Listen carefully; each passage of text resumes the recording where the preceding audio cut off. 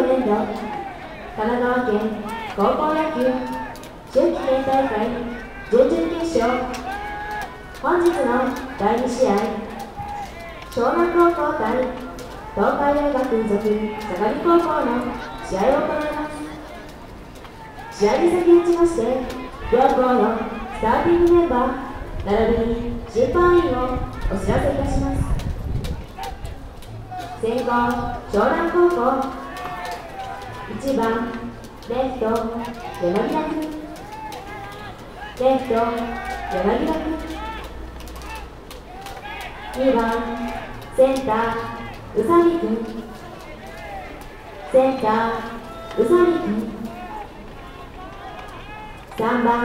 ピッチャー宮台君ピッチャー宮台君4番ファースト菊池君ファースト菊池君5番サード松田君サード松田君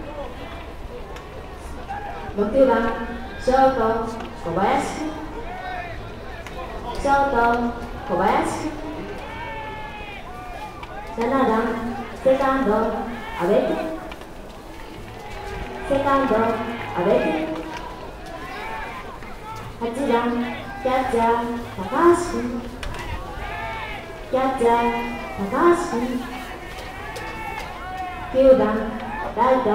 白鳥君ライト白鳥君対します高校東海大学附属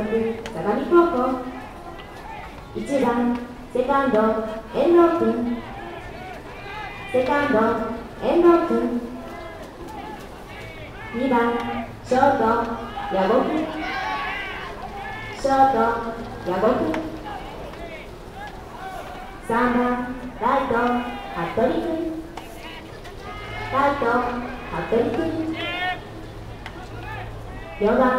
レフト富山君レフト富山君5番ファースト桑原君ファースト桑原君。6番センター佐藤君センター佐藤君。7番キャッチャー鈴木君。